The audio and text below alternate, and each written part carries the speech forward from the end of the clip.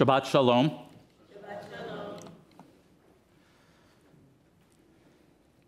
It is a pleasure to introduce Rabbi David Saperstein, designated by Newsweek magazine, and as he told us last night, his mother, as the most influential rabbi in America, and by the Washington Post as the quintessential religious lobbyist on Capitol Hill. For 40 years as the director of the Religious Action Center for Reform Judaism, Rabbi Saperstein represented to Congress and the administration the Reform Jewish movement, the largest segment, of course, of American Jewry. Under Rabbi Saperstein, writes J.J. Goldberg in his book Jewish Power, the Religious Action Center has become one of the most powerful Jewish bodies in Washington, perhaps, perhaps second only to AIPAC. During the second term of the Obama administration, Rabbi Saperstein served as the United States ambassador at large for international religious freedom, carrying out his responsibilities as the country's chief diplomat on religious freedom issues. In this capacity, he served as a principal advisor to Secretary Kerry and President Obama on issues of international religious freedom and traveled widely as America's advocate for religious freedom across the globe. 2019 to 2020, Rabbi Saperstein served as the president of the World Union for Progressive Judaism, the international arm of the Reform Jewish movement. By the way, David, your successor, Sergio Bergman, on occasion uh, is living here in Brooklyn and davens with us when he's not traveling around through the, Ukra- the Ukraine as part of his efforts uh, right now. Uh, I think many of you know that Rabbi Saperstein is an attorney. He taught seminars on church state law. There are a lot of attorneys in this congregation for some reason. He taught seminars on church state law and on comparative Jewish and American law for 35 years at Georgetown University Law Center and continues his academic work as an adjunct professor at Georgetown University's Foreign Service School and Center for Jewish Civilization and as a distinguished fellow at the P.M. Glynn Institute at Australian Catholic University. Rabbi Saperstein is married to Ellen Weiss, an award winning journalist. He has two sons, Danny, a musician, and Ari, an artist and a writer. In his book, Thunder in America, network news correspondent Bob, is it Faw? Bob Faw, uh, wrote of Rabbi Saperstein, quote, Saperstein learned from political masters. His energy is almost legendary. No one around him worked longer hours. No one darted in and out of more meetings. Once he'd taken on an assignment, he always guided it safely home to completion. And with that, welcome Rabbi David Saperstein.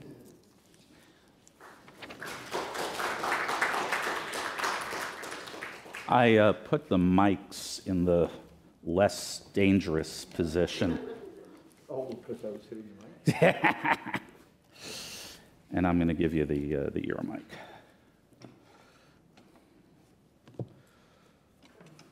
There you go.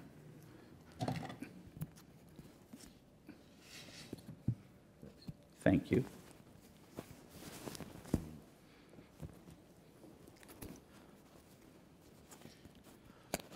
What a delight to be back here. I have many fond memories of this congregation. Uh, tomorrow I'll have a chance to share some of those as well, but it is a special, special pleasure for me to, uh, to be here, particularly during this year that, Rabbi, is your 25th year here? It, it evokes for me uh, just an observation about the congregational clergy person. I want to submit to you that it may be one of the most unique professional positions anywhere on earth. And I'm delighted if somebody comes up to me afterwards as I make this argument to suggest uh, one that would be of the same nature. But there is no profession that I can think of anywhere that allows one human being to interact as fully and completely with other people who choose to enter that relationship from birth to death in good times, in bad times, able to shape the values, the personality, the life's path that others who engage with him will live out. It's something really extraordinary. And now, by this point, you've officiated at the life cycle uh, ceremonies of at least three generations of some of the uh, families that you've done. What, a, what an extraordinary profession that is, and what a wonderful job the rabbi has done of this. Um, a wonderful teacher, a champion of our camping system, for which we are deeply grateful, a passionate champion of social justice that has always been part of this congregation. I was actually uh, uh, in Brooklyn at the time that you launched the first homeless shelter um, many, many years ago, and you've carried that on and expanded this extraordinary work. We're deeply appreciative of what you've done for RAC New York, of your efforts on the parole reform bill last time, of you know, those of you who are going to be involved this year with uh, RAC New York's priority. Uh, RAC, for those of you who don't know, is a religious action center our national entity that I ran for so long. Uh, and uh, in many states across the country now, we have state organized RACs in, uh, from California to New York. Uh, who are doing tremendous work at the state level. So, the work that you're going to be doing on environmental issues, climate, addressing climate change, all of this is really remarkable. The uh, adoption of, uh, and this was not the first time, You've done it in several iterations earlier in the history here, but adopting refugees who are fleeing persecution. Something really extraordinary. And it speaks to what my topic is tonight, which is the role that social justice has always played in Jewish life.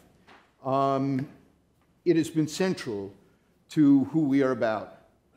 From the first moment that Abraham confronts God over the possibility God may destroy the innocent in Sodom, we are taught that to be a Jew is to speak out wherever we see injustice, wherever we see needless suffering. And if we can do that with God, how much more so with human rulers are we empowered to speak out for those values? So, why are Jews and Reformed Jews and Jews in America so concerned about, or should be so concerned about, social justice? Let me suggest three reasons. First, because God said so. Is it not self evident that we cannot fulfill our destiny to be a light to the nations, that we cannot respond to God's central call to us to be a holy people if we retreat from the struggles for justice, peace, and equality in our nation and in our world? The work of Tikkun Olam must play a powerful role in our Jewish life simply because it is right. And God calls us to that task of righteousness 3,000 years of Jewish mothers and fathers have insisted that we Jews do not continue for continuity's sake alone. We do not exist for existence' sake alone, but are called for a holy purpose and a holy mission to be God's partners in shaping a better and more hopeful world. You shall be holy, for the eternal your God is holy, God commands in Leviticus. And how does God tell us we can be holy? by feeding the hungry, removing the stumbling block before the blind, speaking out against injustice, paying the laborer a fair and timely wage, creating courts of justice and a marketplace that is fair and honest. As a great Orthodox scholar, Isadore Twersky, um, uh, once wrote, one cannot claim to be a God intoxicated Jew without having a passion for social justice. Second, in a nation where we make up a shrinking percentage of the population, it is clear that we cannot go it alone, that there is no issue central to our hearts in which we can prevail if we not are not part of a broader coalition of decency.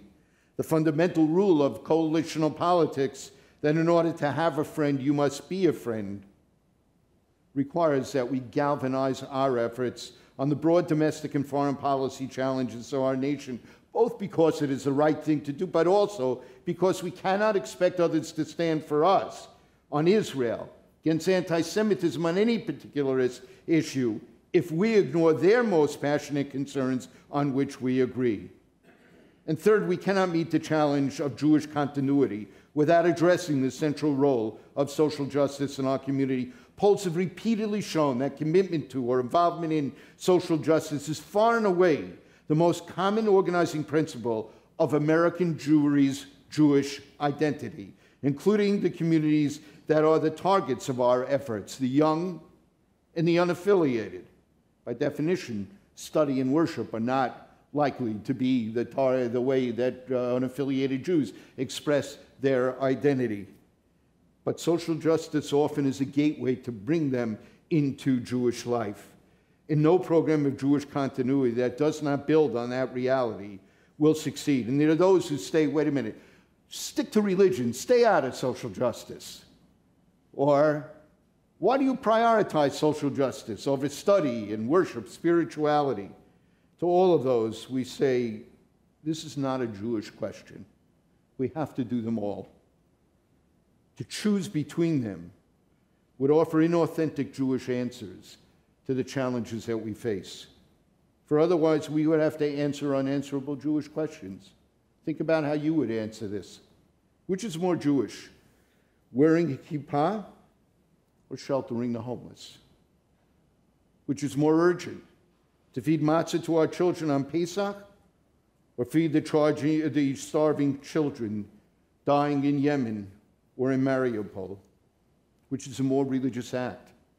To welcome with joy, as we have done tonight, the Sabbath Queen, or to welcome with love the refugee fleeing persecution as you have done in this congregation. To pray with fervor with Kavanah and Shabbat, or to express our indignation in the face of injustice. Our job is to weave together Torah, Avodah, Gemilut, Chasadim, study, worship, and social justice, acts of loving kindness, into a stronger tapestry, a, indeed a luminous talit of Jewish life. And if this addresses the why of social Jewish social justice, let us think through together a little bit about how to think about the what of Jewish social justice. I wish I had time this evening to discuss the Ukraine and the extraordinary figure um, of Zelensky is Jewish president of a beleaguered country that has been targeted by a dictatorial superpower standing up to protect the innocent standing up for freedom, challenging the conscience of the world, living out Jewish values every single day. I'd like to talk about what's happening in Israel now, both in terms of the terrible terrorist attacks and the fascinating development in Israeli political system. I hope most of you caught this, but the 61 to 59 margin the coalition allows it to hold together has now had a defector that's gone over and it's 60 60. It's not clear what the future of this coalition is going to be. It's possible we will face another round of elections for the last time, if you remember, in 18 months. What an extraordinary balagan that was. That's a technical political term for those of you who are unfamiliar with it. This is really an extraordinary moment to watch what happens. But keep in mind, it actually takes 61 to vote the government down and now it's 60 60. They can't do it. Or the option is it can also, by majority, by 61, vote a replacement government for the current one. And it can't do that either because it's 60 60. This is going to lead to immense jockeying of both sides trying to get people to come over uh, to their side, and a government that has done so well, um, somewhat paralyzed now, trying to get one vote for any particular uh, piece of legislation they're going to have. And I wish I had time, of course, to talk about what has been the RAC and the movement's priority about civil rights and uh, fighting racism um, in America and the criminal justice system. I want to commend you on the role with RAC, with RAC New York in terms of the parole reform um, efforts that uh, you were engaged in. Now, what you did here is really a source of pride for us. Um, here, all I will say is watching today as KBJ was sworn in and her moving speech at this time and recognizing we're witnessing the first black women in American history who, rather than being enslaved, is going to sit on the highest court representing rule of law in America. What an extraordinary moment it has. But I don't have time to talk about any of those. So let me instead set the context to think in general about things, and I'll give you a few examples of the point I'm making. And I turn back 2,000 years in Jewish history to what is arguably the single most famous aphorism in all of Jewish history. If I am not for myself, who should be for me? If, if I am for myself alone, what am I? Not even who am I, what am I? If not now, when? But of course, in Hebrew, it's this conjunction linking together the idea of being for ourselves and being for others, being bound together, and both requiring a response to the question, if not now, when? And I want to make an argument that it should be a leitmotif for the way we think through our responsibility as a Reformed Jewish movement, as a Jewish community, individually as Jews, recognizing we pick and choose our priorities by the passion of our hearts in our particular value system and our political views that we may have. The only sin for a Jew is to sit on the sidelines and do nothing uh, when there is injustice and suffering and evil in the world. But how you go about doing it is your choice. But as a community, these are all our values here. We must not retreat as for Israel's sake, for the Jewish community's sake, for America's sake, for the world's sake, um, from either the particular universalist component of our uh, uh, social justice agenda. So, a few examples. You can't worry about Israel without worrying about American foreign policy. Isn't that obvious? And it can't be that Israel's foreign policy can be dictated only about what happens to Israel. What happens to Israel has to do with what America does in the entire region and what America does in the world. We've witnessed America really beginning in the Obama administration and deeply um, uh, uh, uh, uh in the Trump administration and somewhat continued, although a little bit moved back the other way. Uh, we tell you, despite the efforts, all of them made on the international scene, in many ways we've withdrawn from a role in many areas around the world. And in every place we've done that, China and Russia have really moved in. I travel the globe widely, and you can see China building infrastructure where America used to do it, providing aid where America used to do it, Russia playing a role in the Middle East. Russia is the only power that is talking to both the Sunni and the Shia Muslims playing a crucial role in Lebanon and in Syria, which, by the way, is why Israel is so reluctant to um, uh, condemn uh, Russia as strongly as many of us might have hoped they would have done.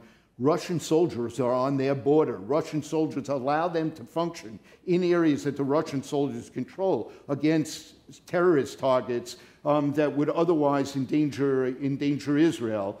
Um, a tough choice for a political leader to make. But America, in, in terms of its role, has to figure out ways to counteract and it can't do it thinking narrowly about Israel. It's the broader agenda as well. You can't think about Israel without worrying about the, Israel's military policy. The weapons that we develop, where we deploy them, what our global strategies are, all of that going, is going to affect, um, is going to affect uh, Israel and Israel's security as well. And you can't worry about military policy without worrying about the proliferation of nuclear, chemical, and biological weapons, the so called weapons of mass destruction. The threat from Iran, whatever your view on the JCPOA might have been in the Obama era, Iran remains an existential threat to Israel, an intensely destabilizing force in the entire region. President Obama's enormous increase of the Bush administration's level of sanctions brought Iran to the table for the JCPOA, with Israel's military intelligence political leaders deeply split over the accord. President Trump's withdrawal from the JCPOA and further expansion of the sanctions neither led to the regime change as Prime Minister Netanyahu predicted, nor has it slowed, let alone halted, Iran's uh, renewed pursuit of the nuclear military potential as President Trump had uh, predicted once Iran followed the U.S. out of the accord. It remains to be seen what the new treaty will do. We should soon see the answer to that question and whether it's going to be better for the U.S., for Israel, for our allies uh, to have whatever this next treaty is than the status quo or not, and what Israel will do if the new accord fails to be enacted or fails in Israel's view to meet their security needs. But even if the agreement turns out to be effective, we kind of miss the dangers of the spread of nuclear technologies and other non conventional technologies and weapons to other areas of the globe. The potential of a nuclearized conflict between India and Pakistan remains a constant threat to world peace. And extremists in Pakistan and many other areas are working hard to obtain non conventional uh, capabilities and would be likely to be more inclined to use them because it would be very hard to identify a non state actor that actually uses them and to retaliate um, against them. Unless we act more forcefully, to stop the spread of nuclear, chemical, and biological weapons, Israel and the U.S. may well face such weapons um, in the future. And I'm particularly proud of the fact that at the Religious Action Center in the 1990s, we played a key role in drafting an even stronger role in successfully advocating for the passage, even over President Bush, the father, President Bush's veto of this legislation, the strongest anti proliferation legislation regarding chemical and biological weapons that the U.S. had at that time. And this is an issue that has special resonance for the Jewish people. Um, Samuel Pisar, the eloquent Holocaust survivor, said an extraordinary speech at the second gathering of Holocaust survivors given before in the Knesset, the Israeli Knesset building, um, here, with the authority of the numbers engraved on our arms, we cry out the commandments of six million innocent souls, one and a half million children, of whom I used to be one, never again. From where, if not from us, will come the warning of a new combination of technology and brutality that can transform the entire planet into a crematorium. Halting this is good for Israel, good for America, good for the world, the universal in particular, are bound together. And you cannot worry about Israel without worrying about global energy policy. It was a lever that allowed the oil, the Arab countries to manipulate the foreign policy of many countries across the globe into anti-Israel posture for decades. Things are beginning to turn around, and President Trump deserves credit um, for the Abraham Accords. I hope that this administration will use those accords to try and get the uh, Arab countries to make it a regional priority to move some resolution of the Israeli Palestinian uh, conflict. Um, and you can't worry about energy policy without worrying about environmental po uh, policy. Um, uh, some many experts predict that uh, there may the next war, shooting war in the Middle East, may be over the shrinking shortage of water, the shortage of water and shrinking supplies of water in the uh, in the region. Um, uh, and we see in Ukraine what reliance on fossil fuels has done in terms of uh, both military and diplomatic um, policies here.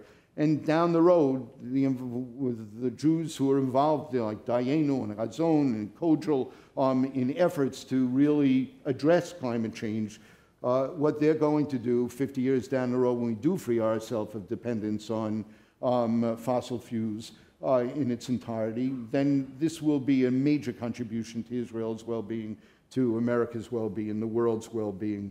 Um, just a word more about climate change, because I think you know as well as I do that for millennials and Gen Z, this is such a vital, important issue. And we Jews know why we should be involved. Um, uh, the earth is the eternals and the fullness thereof. What we own, we own in a trust relationship with God requiring that we protect God's creation, not just for ourselves and our world, but for the generations to come. That idea of responsibility to those generations is one of religious, the, the religious community's greatest contribution to ethical thought over the centuries. For Jews, the vast array of Talmudic environmental uh, regulations protecting water and air, stopping, uh, uh, uh, insisting on conservation of resources, um, the belts of green planted around urban areas all testify uh, to the obligation of Jews to address such environmental concerns. But of course, the urgency that we face today challenges our ability to apply those values to the world in which we dwell, a crisis whose complexities we're only begin to see. And I say that literally because we are the first generation, those of us my age and others of a similar, we're the first generation all of human history to actually see our world. The first.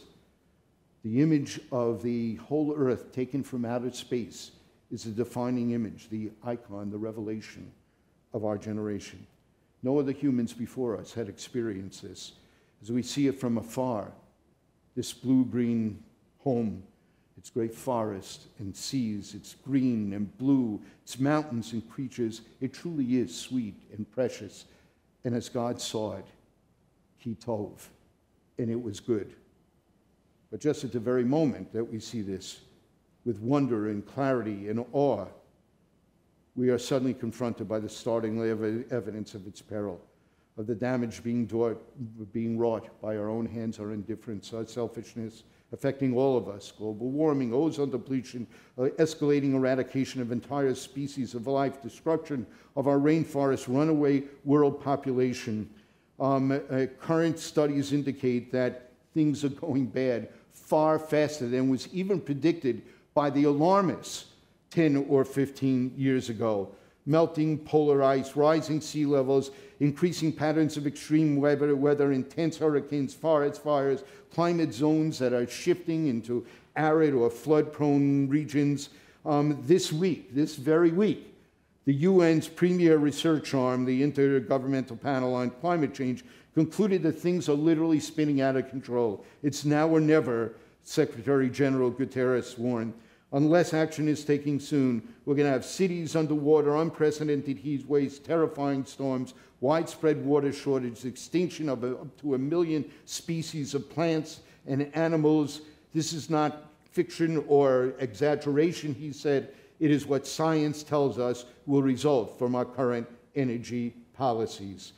And you and I, we feel this personally. This is our home.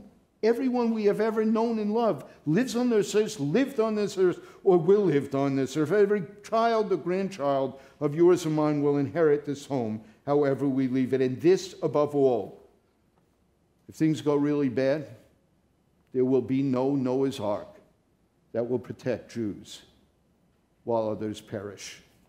We are all in this together.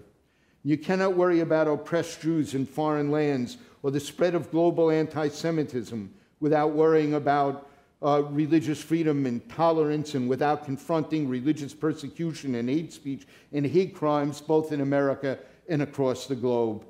You can't do it just by fighting anti Semitism if the atmosphere is inculcating this and legitimizes it for other groups as well.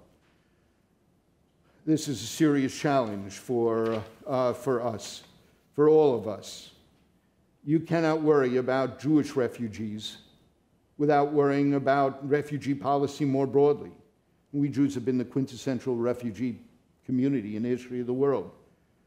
From Abraham leaving his home to go to Canaan, Jacob, because of famine, fleeing Israel, going to Egypt, Moses leading his people to slavery, to freedom in the promised land, Jews throughout history who were banished or exiled or forced to flee um, uh, by religious prejudice and, and uh, military uh, uh, destruction of the areas in which they live, seeking simply safety and security and freedom.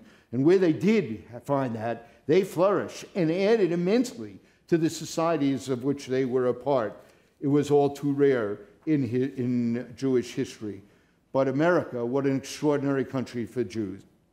And our dedication to America's values, the lessons of our history, um, I think is one of the reasons American Jewry has given such overwhelming support for a more generous and compassionate refugee policy and explains the virtually uh, universal Jewish anathema at the growing demonization of, ref of refugees that we have seen over the last years um, uh, here and the efforts to bar refugees from Muslim majority countries and to drastically cut the, um, uh, the numbers of refugees that would be admitted. And a point of personal observation in terms of Jewish ethics. I visited refugee camps in some of the worst, most imperiled areas across the globe. Everywhere, it is the children, malnourished, unable to survive unremitting strains, who so often die first. In the Seder service, and this is a congregation that produced not just the president of, uh, excuse me, who was led uh, earlier, not just by the president of uh, the URJ, um, but the, the, head of the Central Conference of American Rabbis, Hara Person was raised in this congregation. And I really hope that every one of you has taken a look at the beautiful new uh, reform movement Haggadah that she was a key person in putting together. Uh, and I hope many of you have an occasion to use it. Not too late to order it um, if you've not yet if you've not yet done so. But in the Seder service, many these days, and it is embodied in that Haggadah, lift up the allusion to Shifra and Pua, the Egyptian midwives who defied Pharaoh's order, uh, orders to commit genocide against the Jews by killing the newborn males. How can you not think about what's happening in the Ukraine when you hear this? How can you not think about what's happening to Uyghur Muslims and Rohingya Muslims um, when you read this? What is our responsibility to be Shifra and Pua wherever we can through direct or indirect efforts to protect the innocent? But it is the children who, living in poverty, displaced from homes to refugee camps, caught in the midst of violent conflict, far too often, the children who die first. The global refugee crisis, now the largest in all of recorded human history of displaced populations and refugees, um, here from Myanmar to Africa to Syria to the 8 to 10 million displaced in Ukraine, 4 million of them refugees who have fled their countries, pricks the conscience of all good people. And the image of the dead that we have seen elderly people, children lying dead in the streets of Ukraine. Who can ever forget those images anymore? Who can forget the image of three year old um, uh, Aylan Kurdi, uh, the, the Syrian refugee 10 years ago, um, lying dead on a Turkish beach, his five year old old brother Galib, and his mother Rehan perishing nearby. We dare not stand by the blood of a single child more, not in the refugee camps, not in the streets of our cities, with the homeless, not those being trafficked in brothels or sweatshops in nations across the globe. The Nobel Prize winning poet Nelly Sachs, a German Jewish refugee who fled Nazi persecution, wrote of the Holocaust O night of the weeping children, O night of the children branded for death, sleep may not enter here. Terrible nursemaids have usurped the place of mothers. Instead of mother's milk, panic suckles the little ones. Yesterday, mothers still drew sleep toward them like a white moon. There was a doll with cheeks rouged by kisses in one arm, the stuffed pet already brought to life by love, and in the other, now blows the wind of dying, blows the shifts over the hair that no one will ever comb again. And you can't worry about hate crimes. You can't worry about anti Semitism without addressing racism, hate speech on our internet, in our political discourse. Um, those who have been targeted, Jews are the most frequently targeted religious group. African Americans are targeted twice the rate even of Jews as the primary targets of hate crimes in America. And make no mistake about it, exactly what hate crimes are about here. The damage done by hate crimes on America, on the victims, is more than mere acts of violence. They're more than murders, beatings, arsons, desecration. Hate crimes are nothing less than attacks on the values that are the pillars of our republic and the guarantors of our freedom. Their betrayal of the promise of America. They erode our national well being, and those who commit these crimes do so fully intending to tear at the too often frayed threads of diversity that bind us together and make us strong. They seek to divide and conquer. They seek to tear us apart, pitting American against American, fomenting violence and civil discord. What's been extraordinary is how the religious communities of, America have gathered together to fight against this, to stand together, to clean up graffiti, to repair um, uh, desecrations, to stand with the victims and their communities is true in Tree of Life in Pittsburgh and Poway um, and uh, in Texas uh, here. This has been something extraordinary about America. And in doing so, we are modeling the very world that we are trying to create. Do you remember the remarkable verses in the book of Esther when Mordecai beseeches Esther and says, Go lobby King Ahasuerus on behalf of your people? And she first demurs, and Mordecai urges her to have courage, saying, Who knows whether your elevation to the royal house to access power and influence was not for such a time as this. For such a time as this, might not we, see the unprecedented freedom given us in North America at such a remarkable crossroads of human history, see our attainment of wealth, power, and influence in the world's most important nation, attainments beyond the wildest imagination of those who came before, granted us for such a time as this. The Midrash then comments that this remarkable woman lobbyist, Queen Esther, decides she will engage in advocacy on behalf of the values and interests of her people and says, it says, I shall go there, and God shall lend me God's right hand and left hand with which the universe was created. It's a stunning image. It's actually the only time in the Midrash I've ever seen this image occurs. Often, God is described in anthropomorphic terms. God does this with the left hand, God does this with the right hand. But only in going to plead for justice do we find the image that our hands are the hands of God. My friends, when you comfort somebody in the homeless shelter, when you feed a hungry child, your hands are the hands of God.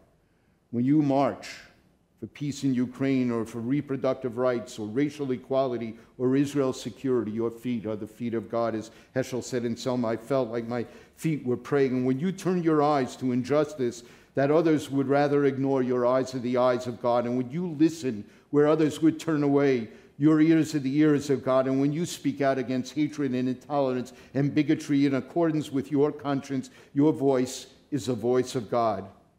And when you work day in and day out to do all of this, your work is God's work here on earth. And that is the work we Jews are called to do. And to that call, we know there's only one answer a Jew can give.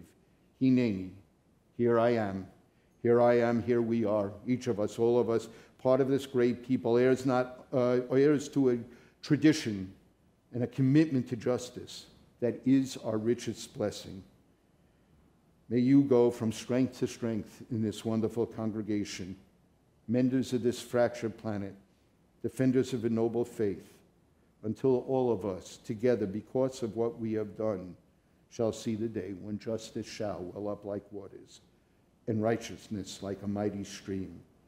And we shall indeed have created for our children the world they so richly deserve. Amen. Amen. Yes.